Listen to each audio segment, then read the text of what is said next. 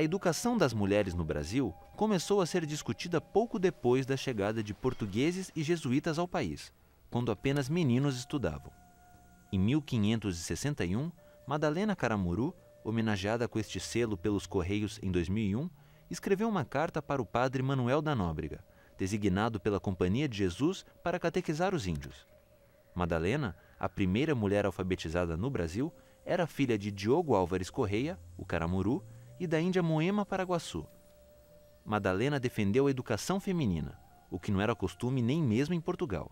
Até o final da colônia, é, as meninas estão enclausuradas, elas não saem de casa, os pais não deixam, há todo uma, um, um, um sistema patriarcal que impede a ascensão das mulheres ao espaço público.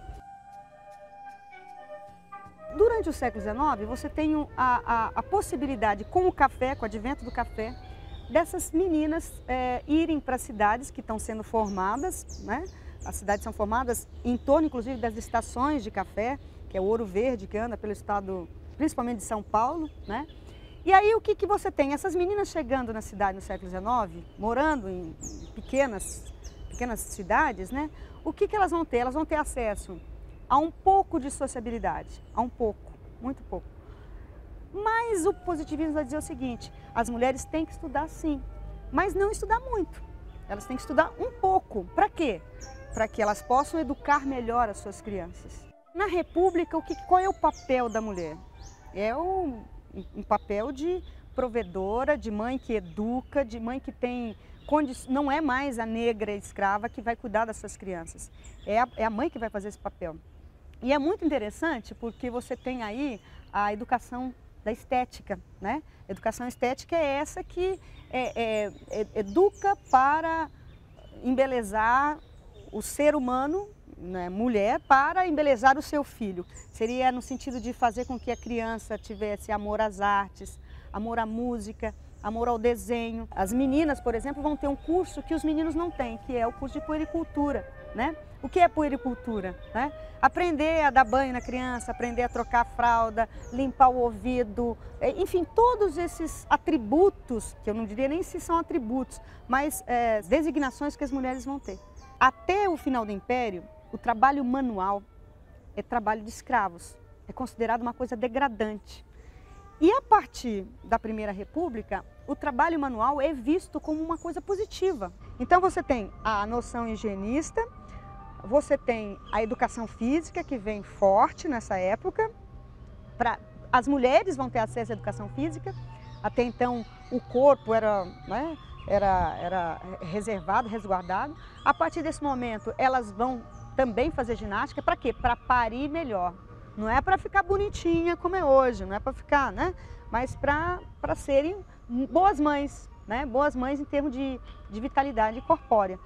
Na Primeira República, as meninas são aceitas nas escolas onde só estudavam meninos, mas cada grupo tem o seu próprio currículo.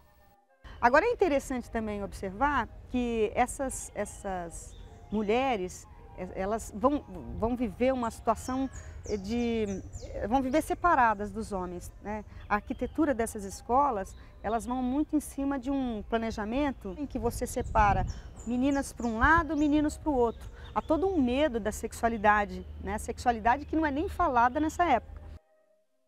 É também no século XIX que surgem as primeiras escolas voltadas exclusivamente à educação das meninas. Uma das mais importantes foi o Colégio Florense, criado em Campinas pela alemã Carolina Florense. A escola da Carolina Florense, que é de 1863 e fica até 1913 em Jundiaí, é uma escola que tem um grande objetivo, trazer tudo aquilo que estava acontecendo na Alemanha em relação aos métodos intuitivos, aos métodos que ultrapassavam apenas o ensino de ler, contar e escrever. Né? E aí então ela vem para cá e funda essa escola. Ela só podia trabalhar com meninas porque era proibido uh, mulheres abrir escolas para meninos. E ela, quando funda essa escola, o objetivo dela é trazer um pouco de geometria, anatomia, é, pinturas, piano. Então, nesse espaço, o que, que elas fazem? Peças de Molière, elas fazem, é, cantam é, músicas clássicas, Schubert, Mendelssohn, né? é, essas meninas vão visitar fábricas. Por exemplo, aqui em Campinas nós já tínhamos a fábrica de chapéu. Elas vão lá visitar, ver como que é feito o chapéu, como que é construído.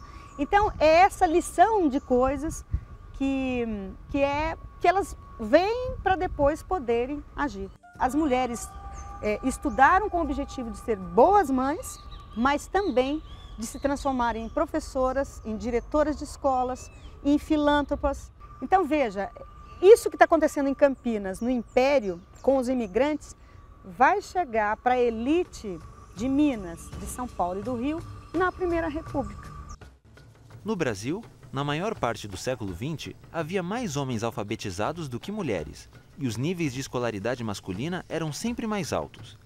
A situação começou a mudar quando as alunas do magistério passaram a ter o direito de prestar vestibular.